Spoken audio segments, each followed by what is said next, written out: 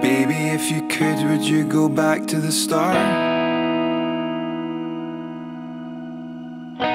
Take any fresh steps or watch it all fall apart again.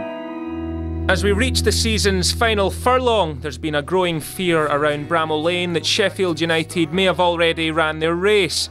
Stuttering form at the run in, Blades fans have been here before. With just five league games to go, Sheffield United fans might have hoped this afternoon's match against Swindon would provide the perfect chance to cement their claims for automatic promotion. But with just one win in their last six matches, a playoff spot might now be their only chance of securing a place in next season's championship. Play another song here, then you can leave. That return wasn't deemed good enough for the United board, and after Tuesday's defeat by Crawley, they felt a change in the dugout was the only option. In the last hour, Sheffield United have confirmed that manager Danny Wilson has left the club. As Wilson's 23 month tenure came to an end, the Bramall Lane Blades called upon a familiar face, Chris Morgan, to steer the good ship United back on course. Wise decision? Only time will tell. But was Wilson's sacking based purely on results, or were there growing tensions simmering behind the scenes? Jamie Hoyland played almost 100 games for United and left the club only last month after a short stint working at the Youth Academy. It's a massive gamble. There were a lot of trouble last last summer with people main, being made redundant at Sheffield United, and I think they've they've started cutting the cloth really, really badly. And unfortunately, I think if Danny had wanted to, I'm sure he did want to have uh, players in. What he could have done, got told he couldn't, and and just had to get on with it. And unfortunately, he's, he's paid the consequences.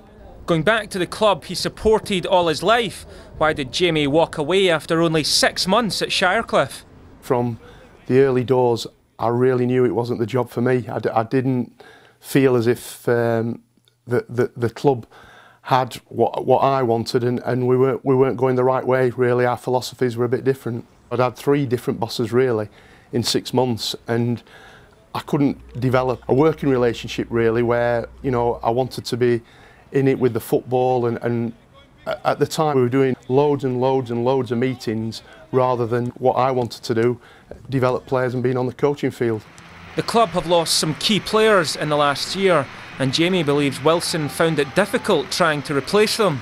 now every penny is watched and, and what you can have and what you can't have you're wanting that player who you think you can have to take the club forward and really you might get somebody down down the way that there's a list and well you can't have him you can't have him and it might be one down there where it is but that's that's really a lot of clubs nowadays but I, I know definitely at Sheffield United that's what's happened Ahead of yesterday's match, what was the feeling among United supporters about Wilson's exit?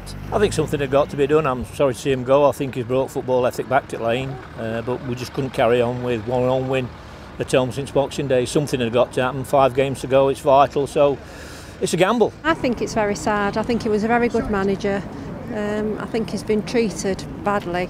Having said that, I really like Chris Morgan. I don't think they could have picked a better person than him. I think it's just been a travesty, to be honest with you. I think perhaps a bad decision, but you never know if it's really a good decision or a bad decision until season's over, do you? So that's the difficulty with this one. I think they'll come out really fired up. I hope everybody gets behind them today, Yeah, and yeah. I think Plenty they'll really go noise for it for Chris. I Yeah, think they'll think be so. they're good. Come Yeah. on, Morgs, go for it. Morgan was welcomed into the dugout to huge acclaim from the home fans, and his team got off to an electric start. Indeed, they could easily have been three or four up by half time. Chris Porter did find the net shortly before the break, latching on to Tony McMahon's free kick.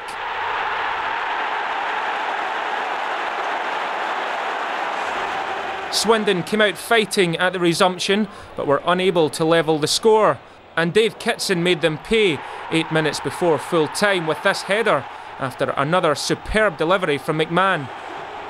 It was a, a, a really tough decision, and it was a, a decision that I didn't I didn't make until I'd spoke to both Danny and Frank. They both gave me my opportunity to, you know, when I when I retired from football, you know, to, to step onto the coaching side. So, you know, without them too, you know, I, I wouldn't have had the chance to do to, today what I'm doing. It just shows the qualities that they have as as men. You know, that they, they both sort of said grasp it, grasp it, do it, and and do your best, and and, and be yourself. You know, be yourself, and, and try and try and enjoy it.